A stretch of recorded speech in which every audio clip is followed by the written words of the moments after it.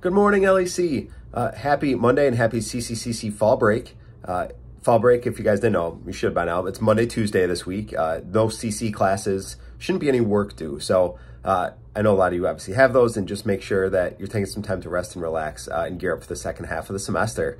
Uh, we're almost there. So uh, last week, we only had one student answer correctly, and that was Zaina. Um, and she proposed the dare of doing Fortnite celebration dances. Uh, I had no idea what these were. So um, Miss Regan stepped up to the plate and helped me out uh, in this week's episode of How Can We Embarrass Ourselves? Floss.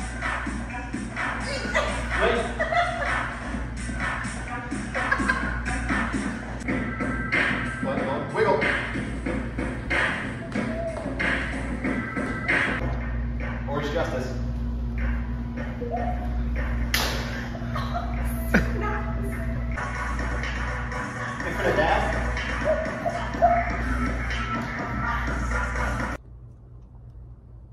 Yes, apparently those are Fortnite celebration dances. And so, yeah, thanks again, Mr. Regan. Uh, thank you, Mr. Hollisey, for filming that, even though I'm sure he was embarrassed to be part of that at any point. So, all right, so we got for our new trivia question coming up here. Halloween is coming. Um, and I read something that there's a particular thing that um, people are going to be spending their money on um, this year more than more than you know past years. Um, about 700 million dollars are going to be spending money on this one thing or things. So um, the trivia question is, what are they spending all that money on? Have a great week. Have a great Monday, and we'll talk soon.